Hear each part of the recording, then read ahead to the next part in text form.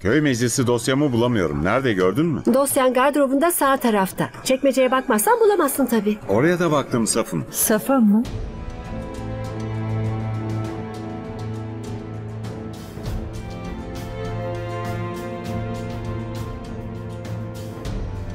Virendra. Hiçbir şey sandığın gibi değil Purvi.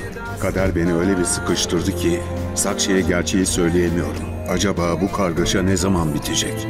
Vrendra'ya öyle bir şey yapacağım ki Sakshi ile daha da yakınlaşacak.